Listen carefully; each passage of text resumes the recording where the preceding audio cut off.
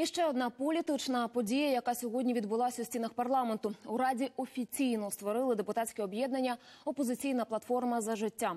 Нардеп Сергій Льовочкин назвав політичну платформу новою силою майбутнього та закликав приєднуватись до неї. У своєму блозі на сайті Кореспондент учасник депутатської групи Опозиційна платформа за життя Сергій Льовочкін заявив, що, попри триваючу в країні війну та бідність, своїм єдиним завданням влада вважає збереження своїх посад.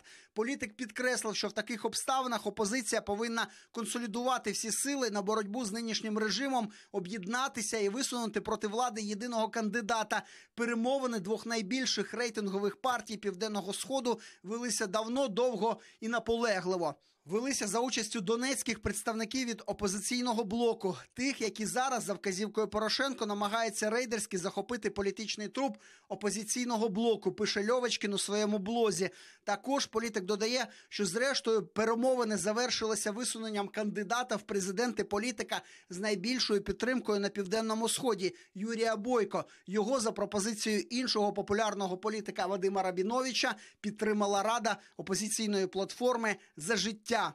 Виходячи з політичних рейтингів, тепер саме Юрій Бойко і Юлія Тимошенко проходять до другого туру президентських виборів.